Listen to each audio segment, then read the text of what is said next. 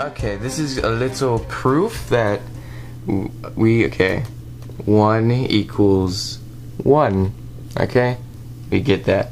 Okay, I'm going to make the following assumption that if A equals B times C, then the root of A equals the square root of BC, okay? That's a little, little math thingy. And now we are going to take 1 equals the square root of 1, square root of 1 being 1. And now that we, we have 1 equals square root of negative 1 times negative 1. That equals 1, you're going to get that, so it keeps it all, all nice and equal. After you get that, I'm going to distribute this square root, so you're going to get 1 equals the square root of negative 1 times square root of negative 1. Now, that could be a problem because the square root of negative 1 is an imaginary number. If you haven't got to that point in math yet, it's because any square root of a negative um, is not going to be a real number. It's like um, root of 4 equals 2, the root of negative 4. Uh, you cannot have that. if you say negative 2, that would still equal 4, and if it's 2, it's still equal 4. So the solution to this would be, you're going to factor out this 4, you're going to have root of um, negative 1 times root of 4, and this is going to be the letter I, which symbolizes that, times 2. So that would be 2 times I would be square root of negative 4. But now back to this. We have I 1 equals I times I. Okay?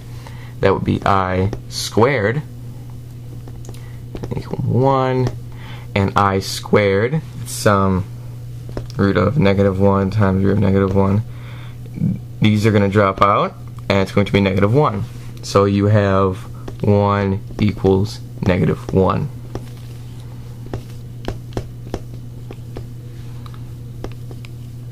And now the reasoning behind this, you might say, Dr. Killifus, there must clearly be a fallacy in this, this math somehow. 1 equals 1, square root 1. But in most uh, math proofs like this, like, um, I'd say like the proofs that do 2 equals 1. Those involve division by 0, which, as you know, makes a black hole, makes all math invalid. But the reason why that is wrong is because you cannot.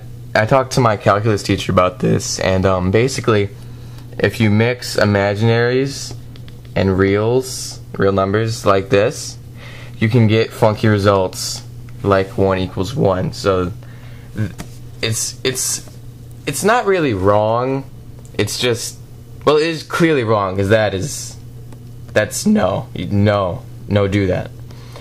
And um, uh,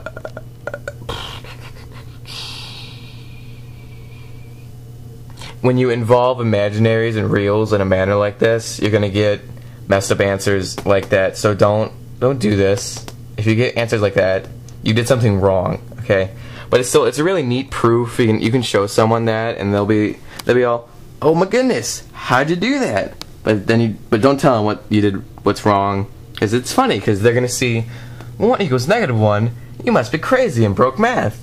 Think you're some kind of calculus professor knowing all math all good. But thank you for watching. This has been Dr. Killifus giving you math tutorials and I hope you enjoyed the video. Thanks for watching.